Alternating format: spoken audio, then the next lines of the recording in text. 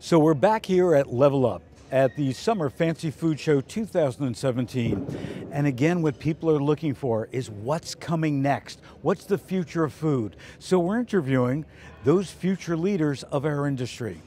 With us, we've got a very special idea and a very special concept. Tell us about what you're doing. Uh, so my name is Josh Treuhaft. I'm the founder of Salvage Supper Club.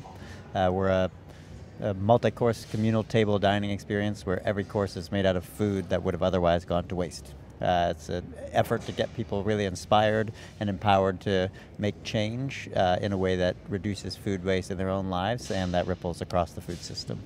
So what we're seeing a lot of, whether it's products on the show floor, initiatives such as what you're taking, food waste has really come, you know, come full steam ahead, and the whole industry and consumers are very concerned about it. Uh, yeah, I think so. I think over the last couple of years, there's been a pretty significant groundswell of support, both at a government level, at a consumer level, and that there are brands and consumer products companies that are starting to make change. I think we're also seeing a lot of chefs and such are actually taking it's like drawing a line in the sand and saying like this is something that we really need to do something about whether that's Dan Barber or Massimo Bottura you know famous chefs around the world saying this is a huge issue and we can all actually do something about it. But uh, down to the individual person there's actually a lot that we can do. We can vote with our wallet and we can say hey I don't actually need to buy the most perfect looking apple. I can buy great apples. I can cook with the food in my house in a different way and, and see value that I maybe for the past hadn't been seeing for whatever reason and start changing some of those behaviors across the system that when taken together I think could actually really have a profound impact. So let's talk about me coming to, to one of your dinners. Mm.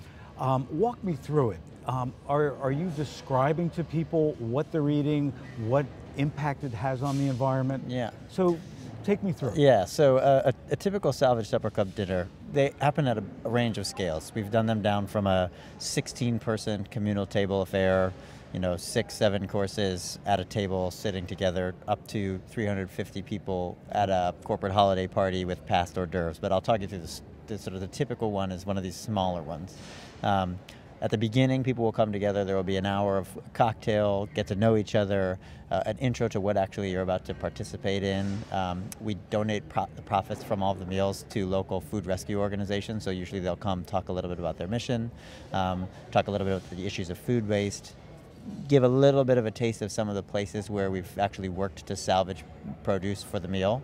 Then people all go out the sort of secret sauce for a lot of our stuff is that the meals often happen in a retrofitted demolition dumpster on the street. So it's a 22 foot construction dumpster with a lo long table wow. and a deck, a beautiful yeah, space that yeah. a warm, inviting environment.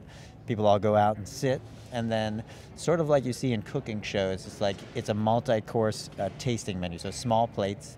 Um, as each one comes out, they're served.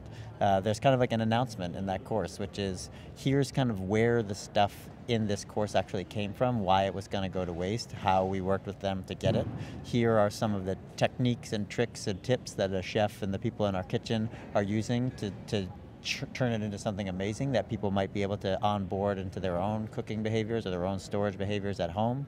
And then we serve that course.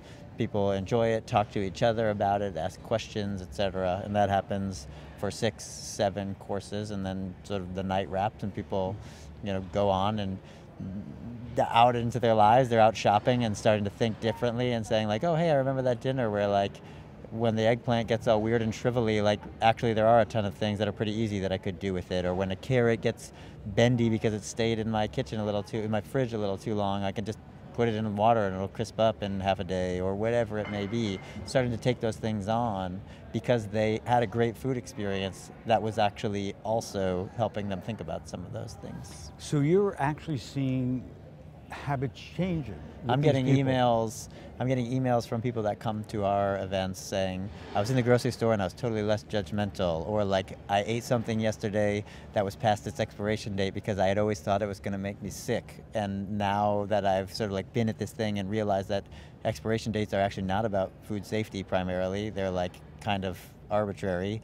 I decided to try it and it was great. Or I served wilted spinach to some guests who came over for a dinner party and nobody even knew because like sauteing spinach is wilting spinach as well. Like all of these things where it's like you actually you're going to an event because you want to have a great food experience, a social experience, a creative experience, whatever it may be. And then um, by taking that as the starting point for the conversation about food waste, instead of waste is bad, and so like you need to be thinking about it, all of a sudden it becomes disarming. It's like uh, the way in is really like think about food differently. Not that you need to become a, an advocate for stopping waste. You could just think differently about the food in your life whether you're a chef or you're a consumer products company or whoever it is, and that actually you can be doing a lot of things. And we've been seeing that that's often the case from people who come to our dinners, which has been great. That's fabulous. It's yeah. a fabulous idea, and the salvage dinner concept could be huge. And I hope, I hope it does become yeah, huge.